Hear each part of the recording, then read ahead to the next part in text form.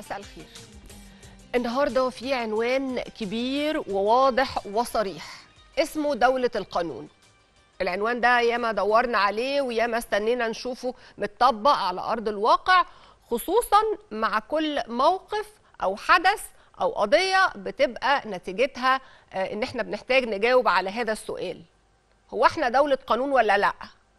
هو إحنا الحكم بيننا والفيصل بيننا القانون ولا حاجة تانية؟ الأسئلة اللي من النوع ده بتكثر في أوقات معينة. وسط الأسئلة دي طبعا بيظهر وينشط ويتكاثر أهل الشر. بيبقى الحقيقة ده مناخ كويس جدا للأكاذيب والشائعات والصيد في المياه العكرة. عشان كده في أوقات معينة بنقول وبنطالب بسرعة الرد سرعة الإجابة لأنه عامل الوقت ما بيبقاش أبدا في مصلحتنا. ولا ده مصلحة البلد التأخر في الرد ده مش لمصلحة البلد ولا لمصلحة إن إحنا نكون دائما وابدا عندنا آه، نوع من التماسك.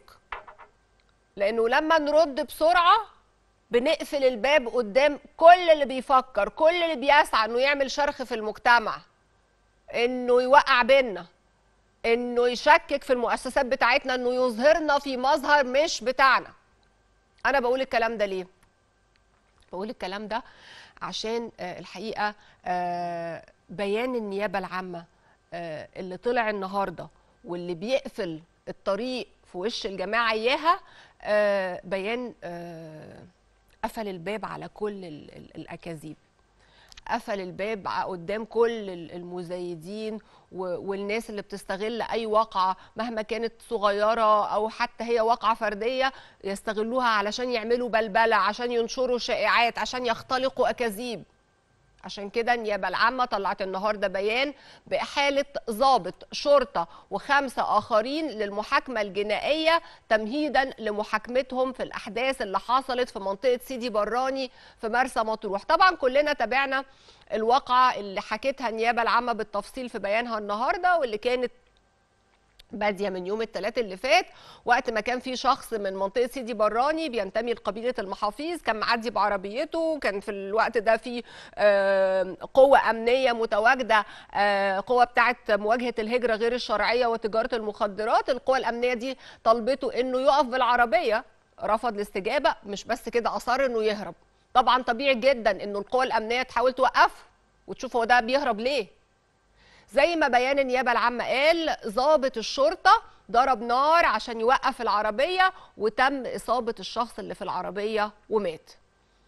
من اللحظة اللي حصل فيها الواقعة وبدأت الجماعات إياها تتاجر بال... باللي حصل وبدأت بقى تتردد ال- ال- الجمل اللي بنسمعها بقى. ما حدش يعمل حاجة أصل ما حدش هيتحاسب. لا روحوا خدوا حقكم بإيديكم انزلوا دافعوا عن نفسكم هاتوا حق ابنكم الكلام ده.